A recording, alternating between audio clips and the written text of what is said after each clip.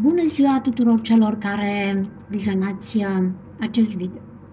Probabil că cei care sunteți într-o relație de cuplu vă puneți întrebarea ce simte pentru voi persoana iubită. Sau și cei care sunteți într-o relație uh, de separare, vă gândiți dacă persoana iubită cu care voi ați fost se mai gândește la voi, dacă vă mai iubește, ce simte ea pentru voi. Uh, o astfel de etalare care am pregătit-o aici în trei variante răspunde la această întrebare. Ce simte pentru voi partenerul? Ce crede despre voi și ce simte pentru voi. Prima variantă, a doua sau a treia. Alegeți varianta cu care voi puteți avea o uh, rezonanță ca și piatră sau ca ordine. Numărul 1 este piatra verde, numărul 2 roșie, numărul 3 albă. Și am să încep cu piatra verde. Um, ce crede despre voi? Această relație în care ați fost sau în care sunteți, crede despre voi că voi sunteți o persoană care mm, aveți încă tânără, încă care aveți speranțe, care, cu care își poate face un viitor sau cu care aș, aș dori să-și facă un viitor. O persoană care, um, serioasă cu care poate merge, să zic așa, pe, pe termen lung într-o relație, cu care poate face familie, copii, cu care poate învăța multe lucruri, pe care vă poate învăța multe lucruri sau voi sunteți o persoană dornică să uh, cunoașteți mai multe despre această persoană. Știe că voi vreți să-l cunoașteți mai bine. Poate fi și acest lucru sau poate fi și uh, faptul dacă sunteți, nu vă cunoașteți foarte bine, să știe că uh, mai are încă multe de aflat despre voi. Deci încă sunteți la început în relație și atunci mai are multe de aflat despre voi. Dacă sunteți într-o relație mai veche, atunci se gândește că voi încă sunteți suficient de tânără încât să uh, îl, îl încântați, să-l incitați, dar um, uh, să-l atrageți. Poate um, aici că puteți încă să-i mai oferiți multe primăveri, să zic că mai aveți multe primăveri de trăit, cum se spune, în această relație cu el, uh, cu această persoană. Văd un bărbat aici, văd un bărbat, un bărbat dintr-un uh, semn de aer poate fi sau are un ascendent acest bărbat, dar sentimentele sale par totuși înghețate, par totuși critice, el totuși are ceva să vă reproșeze. Ori sunteți, să zic așa, separați de această persoană și să știți că uh, nu-și arată sentimentele față de voi, dar le puteți afla prin intermediul cuiva, pentru că cu această persoană există șansa de împăcare, există șansa să vă reechilibrați energia, să vă împăcați, poate și cu ajutorul unei persoane sau făcând o terapie, cum ar veni, poate că ești într-o perioadă în care uh, a fost o neînțelegere între voi și el e o persoană foarte precisă, exigentă, foarte riguroasă, să zic așa. El e foarte precis, această persoană. Deci el are niște principii, niște valori la care nu se abate. Și dacă voi ați ieșit din această schema sa, el atunci a renunțat la voi pentru că el așteaptă să vă să fiți pe linia pe care el o vrea, pe aceeași lungime de undă, să fiți ca și el, cu aceleași principii valori, cu același... Uh, e poate o persoană puțin mai uh, autoritară, poate fi și o persoană puțin mai uh, rigidă, mai uh, inflexibilă, să zic așa, poate fi și o persoană, e pasional, poate, o persoană care poate are, uh, când se deschide, se deschide, dar îi trebuie ceva timp să se deschidă, să aibă încredere, Uh, pentru că are poate și aici cumva îl văd că el în sufletul său cumva e înghețat. Și-a, și-a, și-a creat un scut de protecție, să zic așa, în dragoste, deci uh, dragostea cumva trece pe un plan secundar la el, pentru că el întâi și întâi pune în prim plan uh, niște um, chestii, uh, el gândește puțin cerebral, uh, să zic așa, el gândește că ca un uh, conducător uh, pe vremuri uh, mai grele, să zic așa, în care el își ia cumva și măsuri de deci pe voi vă consider o persoană cu care ar putea face un viitor, dar încă nu-și deschide sufletul față de voi. Ori pentru că vă cunoaște prea puțin, ori pentru că l-ați rănit cu ceva și el acum și-a făcut așa un scut de protecție să nu știe, să nu știți ce simte, să nu-și arate sentimentele sau nu i-a strezit încă inima deci inima lui e încă înghețată, pentru că poate, e, pare un lup singuratic, așa, o persoană mai singuratică, poate, um, nu mai este la fel de prietenoasă cum a fost, s-a mai răcit relația voastră, sentimentele sale s-au mai răcit, dar se pot retrezi, poate și cu ajutorul cuiva, fie unui copil, fie că intervine cineva pentru voi la el, poate fi și o persoană mai autoritară, poate fi și un uh, profesor, spre exemplu, un medic, un mentor, un preot, un prieten, cineva care are o autoritate în fața sa, are un cuvânt de spus în fața sa, pe care îl ascultă, uh, da? uh, sau poate că voi, ca să-i aflați sentimentele, ce sentimente are, poate va trebui să interveniți pe lângă cercul său de prieteni, cum ar veni să aflați printr-un prieten ce, se, ce simte această persoană. Sau să-i treziți sentimentele, cumva să-l provocați, cumva să-l faceți să, să se deschidă, să-și arate sentimentele. Pentru că văd că în viitor, dacă între voi există o neînțelegere, o separare, poate apăra o păcare. Dacă există, în, între voi sunt acum, sunteți împreună, dar nu-și arată sentimentele, cumva și le va arăta dacă veți ști cum să apăsați pe butonul potrivit, știți cum să-i aprindeți focul, știți cum să-l dezghețați. Ține de voi. Voi poate că într-adevăr mai aveți ceva de învățat în acest sens.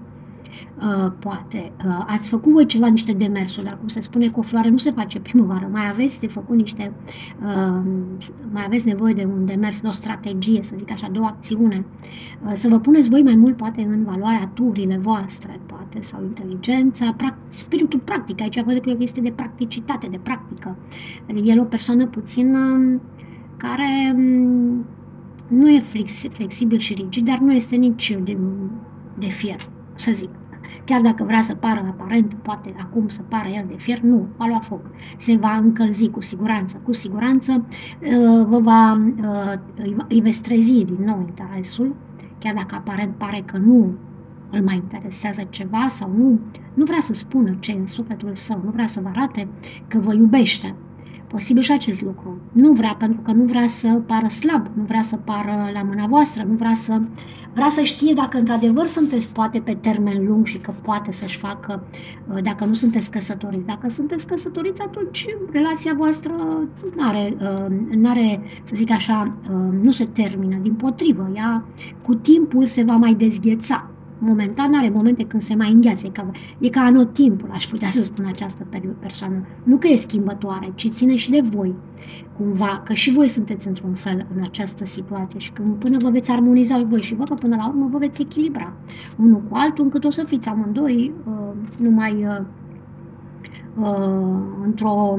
să zic așa, într-o susținere reciprocă, într-un foc viu care arde uh, cu care vă dați, cum să zice, vă încălziți unul pe altul, să zic așa, vă sprijiniți unul pe altul și vă puneți în siguranță, mergeți la drum lung, uh, deci poate fi o relație de drum lung, aceasta pe toată viața chiar.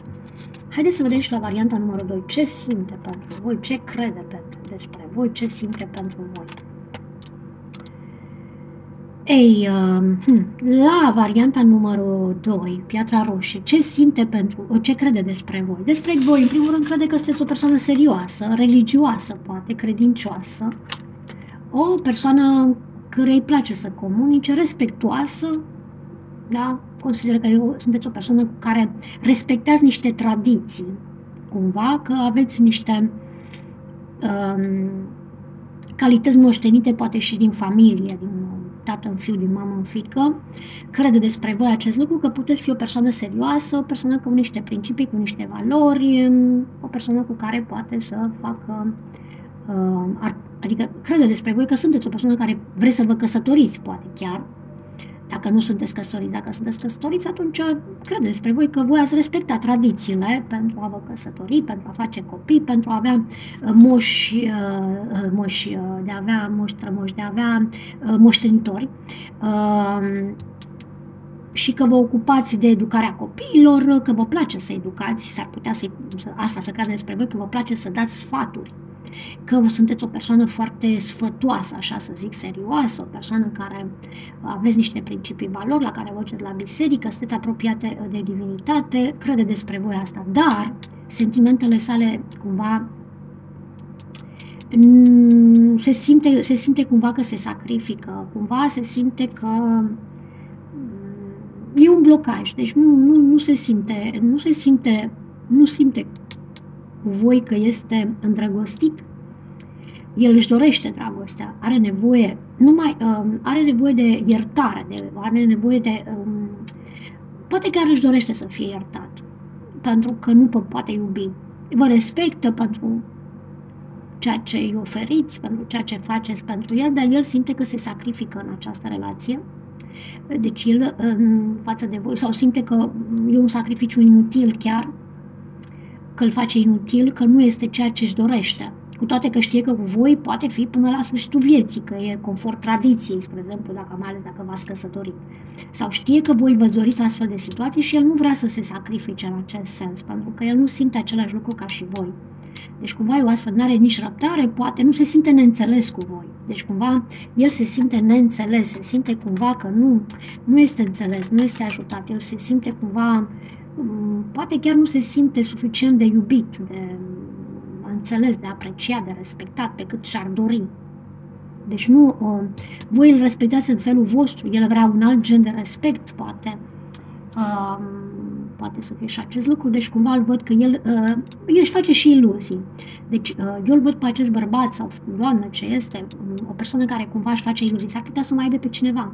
S-ar putea, de aceea să vă, cu voi s-ar putea să se și rupă această relație, pentru că uh, e posibil să mai apară cineva vă respectă, rămâneți la o relație de respect reciproc, poate și pentru copii, pentru educația copiilor, pentru a fi un exemplu cumva, uh, puteți rămâne cumva într-un compromis, poate, dar mai degrabă aș putea să spun că e o rupere, o, o schimbare prin care el trece. Deci cumva el trebuie să schimbe total ceva pentru că nu, nu, nu, nu, deci nu simte pentru voi ceva. Nici nu vrea să vă spună ce simte de altfel.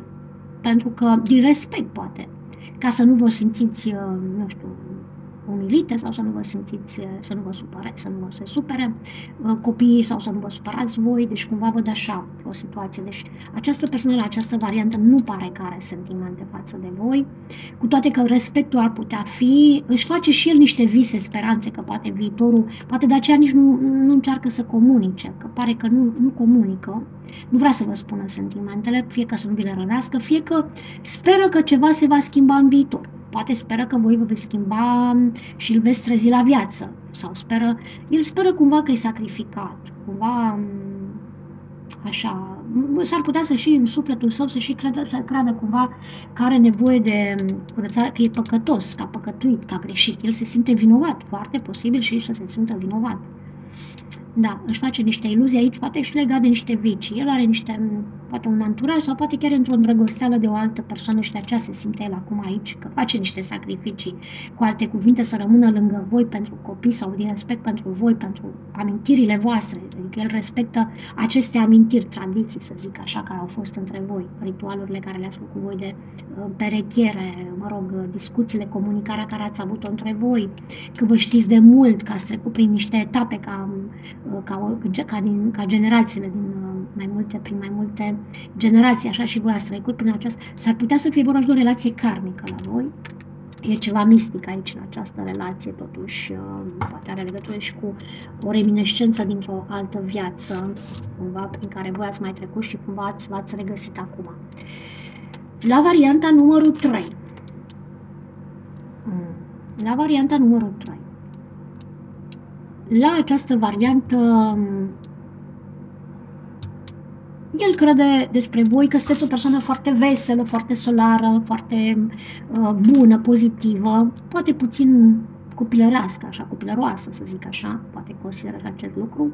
Consideră și că puteți face copii, că sunteți suflete pereche, foarte posibil că consideră că ați, face, ați fi un suflet pereche, pentru că aveți multe caracteristici, că vă potriviți cumva, dar în sufletul său are niște are o strategie această persoană, are, o, are un plan uh, cumva pe care el îl urmează, el și-a făcut deja o impresie, vrea doar să o clarifice acum, să ajunge și voi la concluzia sa, cumva, aici sunteți ca la jocul de șah. Așteaptă mutarea voastră. El a făcut o mutare, acum așteaptă să vadă ce mutare faceți voi ca să-și arate sentimentele. Cu toate că e o persoană totuși puțin ciudată, poate să fie o persoană puțin ciudată, aș putea să spun, această persoană pare puțin ciudată. E posibil să există o separare între voi în viitor, pentru că el încă nu e lămurit de ceva, nu a ajuns la concluzia că el și-a făcut o părere. Și voi nu ați, uh, uh, să zic, ori i-ați dat niște dubii și atunci el se retrage puțin ca să-și clarifice aceste dubii, ori el și-a făcut o părere despre voi și voi nu i-ați infirmat această părere, adică el consideră că încă sunteți prea, nu știu, copilăroasă, pentru el e mai matur, poate gândește că el are mai, mai multă minte și voi până acum nu i-ați demonstrat că ați putea merge pe același drum împreună. Și atunci el preferă să plece singur sau să stea mai singur. Deci încă nu se pronunță, încă nu spune nici ce simte, nici de bine, nici de rău. Cumva pentru că el are e o strategie aici. N-ar vrea să o rupă cu voi, pentru că știe că voi aveți potențial. Știe că cu voi uh, sunteți încă într-o perioadă de înflorire, încă nu v-ați manifestat până la, la adevărata voastră valoare, adevăratul vostru potențial. Încă vă așteaptă să vă maturizați cumva, uh, dar pe de altă parte este puțin și într-un dubiu asupra voastră, pentru că trece timpul și nu ajunge la nicio concluzie. E, uh, cumva e o remiză sau cumva nu i-ați uh, contrazis așteptările sale, mă rog, părerea sa. Deci chiar dacă el, el și-a făcut o părere și se așteaptă ca voi um, voi vreți în continuare poate să rămâneți cu această persoană. Iar el și-a făcut o, perso- o, o părere că voi sunteți prea, nu sunteți, nu că n-ați fi potrivită pentru căsătorie, din potrivă, vede că sunteți o persoană foarte potrivită, dar nu pentru el, pentru așteptările sale, pentru că el încă mai are niște dubii, mai are încă să se cunoască și pe sine. Încă el se îndoiește și de el. Deci, cumva, această persoană are dubii asupra sentimentelor sale, încă mai clarifică, cere sfatul, s-ar putea să fie o persoană care cumva are nevoie și de... Aici, cumva, la voi sunt și diferențe de principii și valori, poate, că el e o persoană, tu ești o persoană de zi, el e o persoană mai noptatică, mai, să zic, de noapte pasăre de noapte. Tu ești o persoană care vrei totul la lumina zilei, vrei să oficializezi o relație, tu vrei să se vadă totul pe, pe, foarte clar, să-și arate pasiunea, sentimentele, că așa ești tu. Poți fi o persoană care ești un semn de foc, spre exemplu, ești foarte solară, foarte pozitivă, foarte uh, cumva și credincioasă. Ai nevoie și de o protecție divină cumva cu această persoană, pentru că această persoană e posibil să fie și sub influ- într-o influență malefică legată poate de anturaj. El de aici vin și dubile pentru că el este în conformitate cu ce a fost el învățat, uh, cu obișnuințele sale, cu tipicăreala sa și tu ești tu altfel, diferit, opusul. El e luna, tu ești soarele. Să zic aici, de aici vine dubii. Cum, se, cum se, se înțelege luna cu soarele? Că luna cu soarele doar se petrec așa razant, să zic așa. Deci, uh, da, sau se eclipsează una pe alta, ori eclipsă de soare sau eclipsă de lună, nu? Uh, și cumva el de aici are dubii. Are dubii pentru că el știe că cu voi, unul din voi nu poate, deci nu poate, nu, parcă nu puteți amândoi să fiți, uh, să străluciți în același timp. Deci ori e unul, ori e altul. Deci cumva voi trebuie să-l lăsați alternați, s-ar putea el, deci cumva îl așteaptă aici să vă înțelepțiți ca să lăsați și pe el să conducă când el, când voi, când el, când voi, cumva așa să vă echilibrați unul pe altul, ca fluxul și refluxul. Foarte misterioasă această relație, să zic așa, foarte interesantă, de sentimentele sale sunt în dubii.